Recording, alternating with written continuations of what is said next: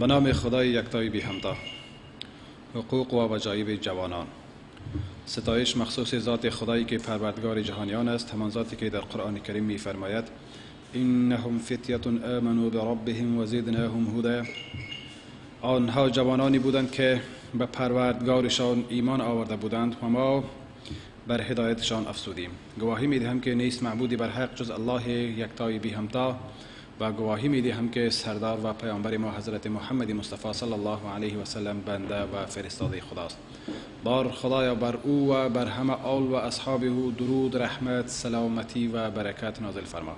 اما بعد در واقع مرحله جوانی مهمترین مرحله عمر انسان است زیرا این مرحله مرحله قدرت بدنی رسیدن به پختگی نشاط و فعالیت بخشش امید دراز و گشاده روی بر زندگی می باشد بدون تردید جوانان ستون فقرات تپش قلب و بازوهای قوی ملت می باشند و هیچ کس نمی تواند نقش اساسی و مهم آنها در ساختار وطن نهضت و پیشرفت ملت ها را انکار کند. قرآن کریم مرحله جوانی را مرحله قوت و انرژی می داند میان دو ضعف و ناتوانی دانسته است. مرحله ناتوانی کودکی و ناتوانی پیری و بزرگسالی. خداوند متعال می فرماید ترجمه الله همان کسی است که شما را ناتوان آفرید. سپس بعد از ناتوانی قوت بخشید و آنگاه بعد از قوت ناتوانی و پیر پیری قرار داد. هرچه بخواهد می آفریند و او دانای تواناست. و از همین جاست که رسالت و پیامبری در مرحله جوانی بوده است. خداوند متعال از حضرت یوسف علیه السلام چنین حکایت می کند و چون یوسف و مرحله بلوغ و کمال قوت رسید به او حکم یعنی نبوت و علم عطا کردیم و این چنین نیکوکاران را پاداش می دهیم و درباره حضرت موسی علیه السلام می فرماید و چون موسی به مرحله بلوغ و کمال قوت رسید و برومند شد به او حکمت و علم دادیم و این گونه نیکوکاران را پاداش می دهیم حضرت عبدالله ابن عباس رضی الله عنهما می گوید خداوند متعال همه پیامبران را جوان فرستاده و علم را به همه علما در مرحله جوانیشان داده است. چنانچه حضرت ابراهیم علیه السلام به سن جوانی با بت پرستان مبارزه نمود چنانچه خداوند متعال می فرماید عدهای گفتند شنیدیم جوانی که او را ابراهیم می‌گویند بتها را به بدی یاد می‌کرد. همچنین قرآن کریم به زکاوت و هوشمندی حضرت سلیمان علیه السلام در مرحله جوانی اش چنین اشاره می, می کند پس آن شیوه قضاوت عادلانه و درست را به سلیمان فهماندیم و به هر یک از آنان حکمت داوری و دانش عطا کردیم. حضرت موسی علیه السلام در مرحله اوج جوانی توانمندی و امانتداریش بود که دختری مرد نیکوکار درباره اش چنین گفت. چنانچه خداوند کریم حکایت می کند یکی از آن دو دختر گفت پدر جان او را اجیر کن. بی تردید بهترین کسی را که می توانی اجیر کنی کسی است که نیرومندی امین باشد و او چنین است. و خداوند متعال به حضرت یحیی علیه السلام در آوان جوانی اش خطاب نمود و دستور داد تا امانت علم را با قوت و انرژی بگیرد و مشقت دعوت به سوی الله را با جدیت تحمل نماید. چنانچه می فرماید الله فرمود ای یحیی کتاب را با قوت و جدیت بگیر و در کودکی با او دانش و نبوت دادیم.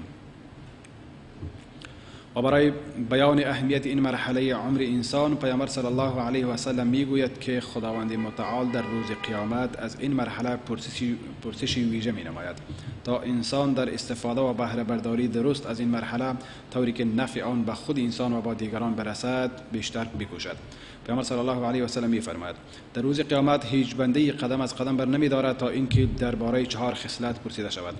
از او در مورد عمرش پرسیده می شود که در چه راهی گذرانده است و از علمش پرسیده می شود که آن را چگونه به کار گرفته و چقدر به آن عمل کرده است و از مالش که آن را از چه راهی به دست آورده و در چه راهی خرج نموده است و از جوانیش پرسیده می شود که آن را در چه راهی پیر کرده است. اسلام به جوانان احتمام زیاد داده و برای آنها حقوق و وجایب بزرگی مقرر نموده است. پس آنان حق دارند که بیاموزند درست توجه و توجیه و آماده شوند. طوری که قرآن کریم داستان حضرت لقمان حکیم با فرزندش را حکایت می کند چنانچه می فرماید چنانچه در فرزند خود جوانی دینی را غرس نمود و او را بر اصلاح دینی بخشش و آرایش و ارزش های اخلاقی تشویق کرده است. طوری که قرآن کریم میفرماید. و به یاد آور هنگامی را که لقمان به فرزندش در حالی که او را پند می‌داد گفت ای پسری من به الله شرک نیاور بیگمان شرک ستم بزرگی است. همچنین در آیات دیگری میفرماید ای پسرک من اگر عمل نیک یا بد به اندازه سنگینی دانه خردل باشد آنگاه در درون تخته سنگی یا در آسمان ها یا در زمین باشد الله آن را در روز قیامت برای حساب می آورد بیگمان الله باریک بینی آگاه است. ای پسرک من نماز را برپا دار و امر به معروف کن و نهی از منکر. و بر هر آنچه به تو برسد صبر کن. بی تردید این از کارهای سترگ است و با بی از مردم روی مگردان و مغرورانه در زمین راه مرو. بیگمان الله هیچ متکبر خودستای را دوست ندارد و در راه رفتنت اعتدال را رعایت کن و از صدای خود بکا و هرگیز فریاد نزن زیرا زشت در این صدا صدای خران است. و پیامبر صلی الله علیه و سلم نیز با جوانان چنین می‌کرد. پس او صلی الله علیه و سلم به آنها اهتمام خیلی زیاد می‌داد و بر تأهیل و آماده سازیشان حریص بود و در دل و عقلشان مبادی بزرگ دین حب علم و تفوق را غرس می‌کرد.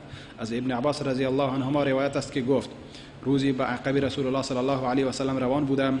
به من فرمود ای پسری می‌خواهم برایت سخنان بیاموزانم. اوامر و حدود خداوند را حفظ کن و تا تو را حفظ کند. حدود خداوند را حفظ کن تا او را طرفدار خودت دریابی. وقتی خواستی چیزی بخواهی پس تنها از الله بخواه وقتی مدد خواستی تنها از خداوند کمک بخواه بدان اگر همه مخلوق جمع شوند تا برایت نفعی برسانند نمی توانند بیشتر از آنچه که خداوند متعال برایت نوشته است فایده برسانند. و اگر جمع شوند تا به تو ضرری برسانند نمی توانند بیشتر از آنچه که خداوند نوشته است زیانی به تو برسانند. قلم ها برداشته شده و صحیفه ها خشکیده است. پس از آموزش بهتر و تمرین ماهرانه حق بعدی جوانان آماده سازی زمینه کار رهبریت تحمل مسئولیت و پرداختن به آنها است. هر شخص به قدر دانش و توانایی و مهارتش.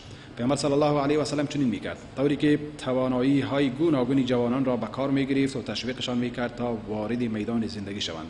چنانچه پیامبر صلی الله علیه و سلم برای دعوت خود به خانه جوانی پناه برد که عمرش از 20 سالگی نگذشته بود. این جوان حضرت ارقم ابن ابی ارقم رضی الله عنه بود که پیامبر صلی الله علیه و سلم خانه او را در آغاز دعوت اسلامی مقر امنیت برای خود و یاران خود برگزیده بود. همچنین پیامبر صلی الله علیه و سلم حضرت اسامه بن زید رضی الله عنهما را در حالی که عمرش کمتر از 18 سال بود در رأس ارتش مسلمین آمیر تعیین نموده بود.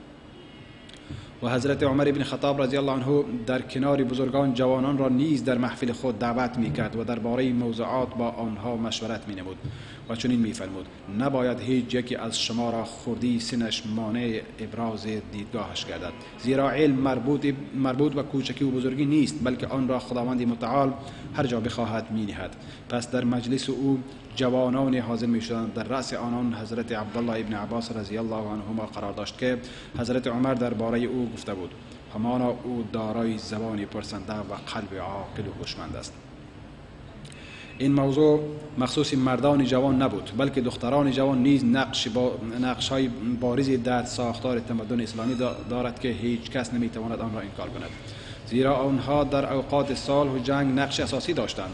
از آن جمله حضرت اسما دختری حضرت ابوبکر صدیق رضی الله عنهما بود که نقش او در واقع هجرت نبوی آشکار است. چون پیامبر صلی الله علیه و سلم و پدر خود حضرت ابوبکر صدیق رضی الله عنه را در هجرت مبارکشان با رساندن غذا و آب تمویل می‌کرد.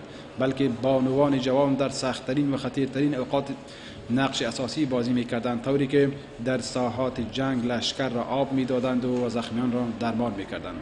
از آن جمله آنچه که در غزوه احد انجام دادند حضرت انس رضی الله عنه می‌گوید من حضرت عایشه دختر ابوبکر و ام سلیم رضی الله عنهم را دیدم که مشک آب را بر دوش خود حمل می کردند و سپس به دهان مردم می انداختند سپس بر می گشتند و مشک را پر آب می ساختند و می آمدند و آب را به مردم می رساندند برادران مسلمان. در حقیقت وجایب جوانان بسیار است. نخست آن تجهیز نفسشان با علم و فرهنگ افزایش و استمرار تعلیم. زیرا علم هر لحظه در تقدم و پیشرفت است و باید جوانان ما همرکاب کاروان پیشرفت و ترقی بوده باشند و ضروریات بازار کار و نیازمندی های میهن را درک و رعایت کنند.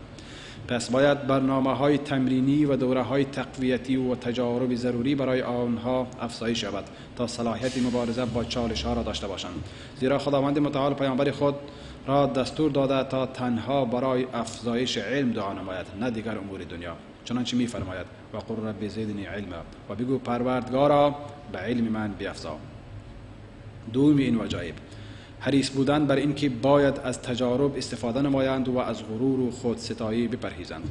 پس باید جوانان از تجارب و اندوخته های گذشتگان بیاموزند زیرا رابطه میان نسل های پی هم رابطه محرومیت یا رابطه درگیری و اختلاف نیست بلکه رابطه تکامل و آموزش است. همچنین باید جوانان ما از غرور و خودخواهی که باعث تخریب و ایرانی می شود و صاحب خود را به گودال هلاکت می اندازد بپرهیزند. چون خداوند متعال می فرماید و در روی زمین با تکبر راه مرو بیگمان تو نمی توانی زمین را بشکافی و هرگیز در بلندی قامت به کوه ها نمی رسی و پیامبر صلی الله علیه و سلم می فرماید سه امر باعث هلاکت می شود بخیلی اطاعت شده هوا و خواهشات پیروی شده پسند شخص تنها از دیدگاه خودش.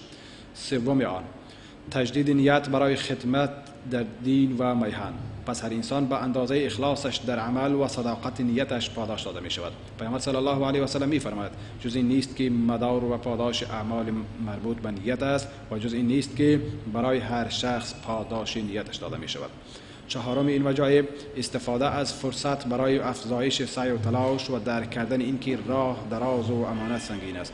زیرا ما در مجتمعی زندگی می کنیم که خیلی با سرعت در حرکت است و در این مجتمع جای برای کسانی که جدیت ندارند و در کارشان برتری و تفوق ندارند نیست. پس تا اینکه به آرزوهای خود برسیم و جایگاه مناسب و مطلوب را برای خود و وطن خود کسب کنیم باید نهایت تلاش نماییم و همه قدرت و انرژی خود را برای بهتر ساختن اعمال خود به خرج دهیم. پنجم آن تقدیم خدمات در درست و زیبا برای وطن که ما در دامن آن پرورش میابیم و می آموزیم و زندگی می کنیم پس میهن بر فرزندان خود که در خاک آن زیست می نمایند و از داشته های آن مستفید می شوند حق دارد. پس باید توشه ما برای خدمت و وطن اصرار و تصمیم جدی بوده باشد. صلاح ما علم و شعار ما وابستگی به وطن و فداکاری در راه آن بوده باشد و همیشه در خدمت وطن و در دفاع از خاک آن بوده باشیم.